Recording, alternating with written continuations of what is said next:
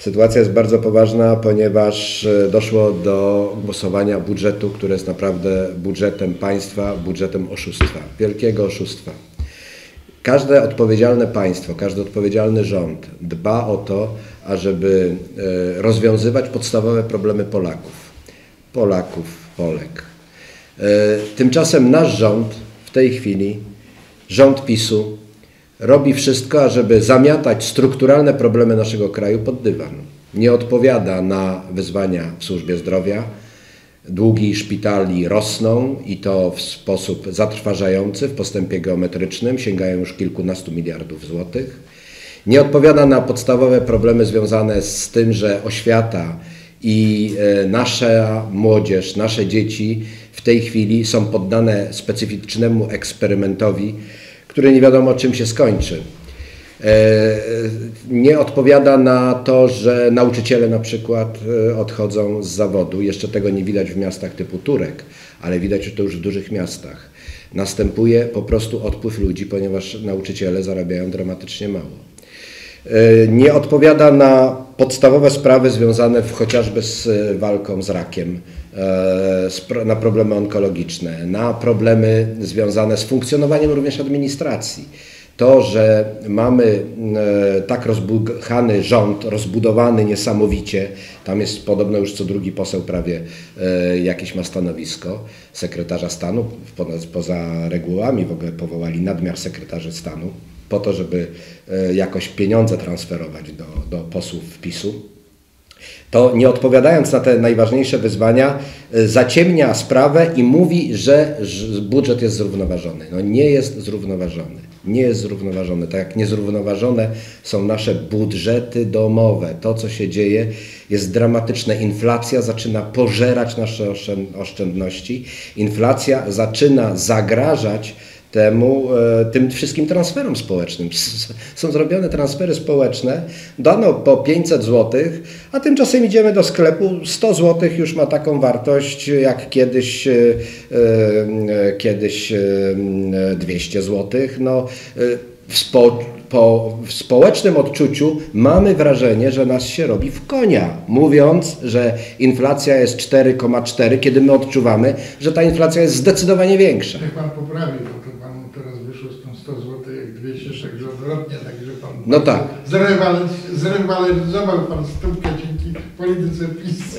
Nie, nie, nie, nie. Ja, ty, nie, ja mówię, że za 200 zł kiedyś e, za 100 zł można było kupić zdecydowanie więcej, tak? No faktycznie tutaj pułapka ta, ta, ta przeliczeniowa. W każdym bądź razie ja jestem zdenerwowany, zirytowany jak wychodzę ze sklepu, a co dopiero ludzie, którzy e, mają te, uposażenia mniejsze i trochę mniejsze, a co z emerytami? To jest po prostu dramat. Dramat i czujemy coraz bardziej, że nasze pensje są pożerane przez inflację. Ja z mównicy sejmowej mówiłem, że inflacja to jest taki ukryty tygrys, y, przyczajony tygrys, ukryty smok. To, to, to jest bardzo niebezpieczne. Platforma Obywatelska złożyła poprawki w związku z tym 2,5 e, miliarda złotych na walkę z rakiem, 15% na podwyżkę dla nauczycieli, e, w smogu wymianę, wymianę 600 tysięcy kopciuchów, 80 milionów na program in vitro, 200 milionów na walkę z ASF-em, 100 milionów na lecznictwo psychiatryczne dzieci i młodzieży, 20 milionów na program profilaktyki choroby Alzheimera, 3 miliony na Centrum e, Europejskie Centrum Solidarności w Gdańsku, 110 milionów na współpracę z zagranicą, 14 milionów na zadania Rzecznika Praw Obywatelskich. Tak na marginesie proszę Państwa, jak można ograniczać Rzecznikowi Praw Obywatelskich budżet, tak żeby go sparaliżować. No to, to pokazuje poziom hipokryzji tego rządu. Y, miliard złotych, no przecież premier Morawiecki mówił, że chce poprawić y, przejścia dla pieszych, zrobić, żeby tam ludzie nie ginęli na tych przejściach dla pieszych i to zapowiadał w swoim expose. Mamy to w budżecie? Nie ma, nic nie ma. W związku z tym też ten jeden miliard chcemy na poprawę bezpieczeństwa pieszych na przejściach. No i jesteśmy w budynku OSP. To jest bardzo, bardzo charakterystyczne.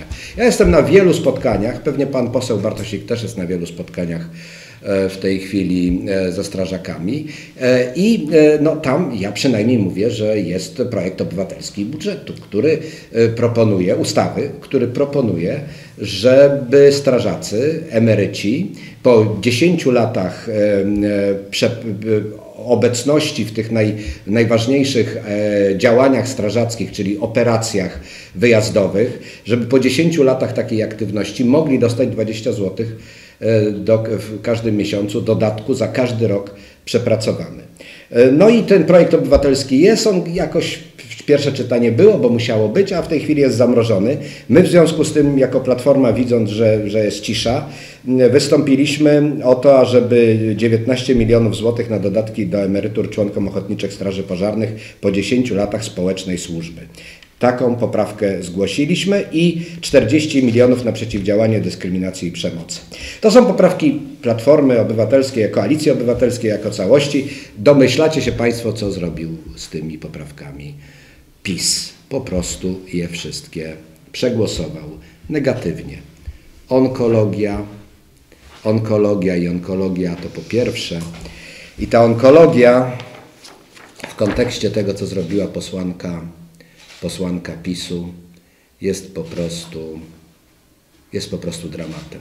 Jak można przeznaczać 2 miliardy złotych na propagandę telewizji publicznej, która będzie promowała prezydenta Dudę, jak można przeznaczyć 2 miliardy złotych, a zamknąć oczy i udawać, że nie ma problemu onkologicznego.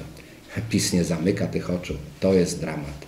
PiS triumfuje gestem posłanki e, e, Lichockiej, triumfuje nad tym, że nie przeznacza 2 miliardów złotych na onkologię, a przeznacza, a przeznacza na telewizję publiczną. Dzisiaj w Turku jest prezydent Andrzej Duda.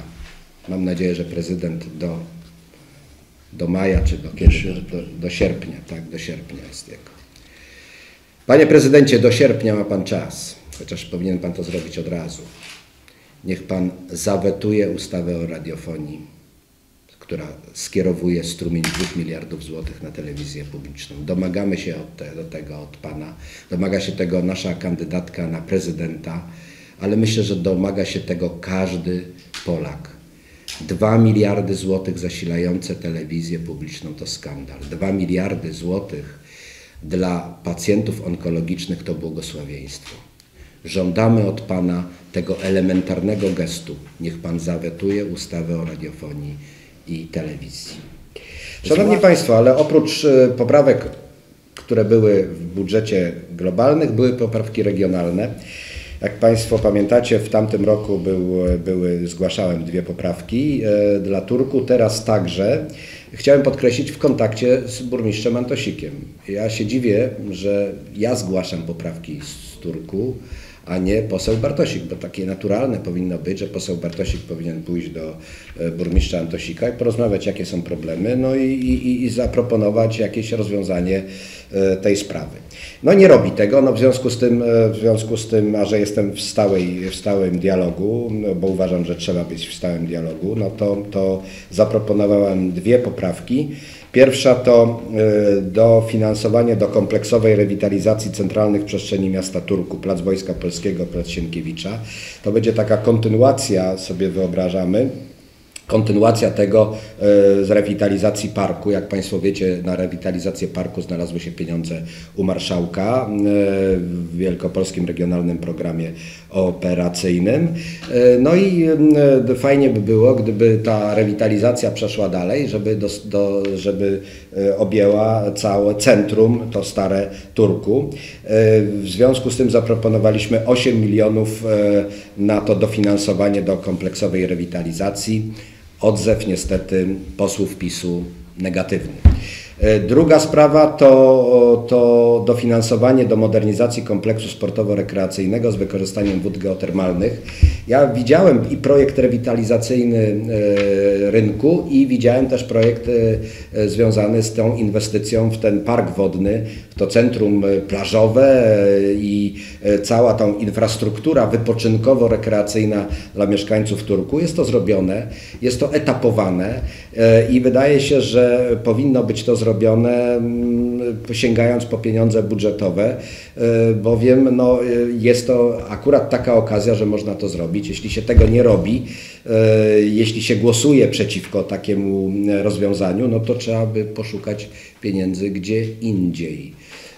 I to, I to myślę, że jest wyzwaniem w tym momencie właśnie dla posła Bartosika.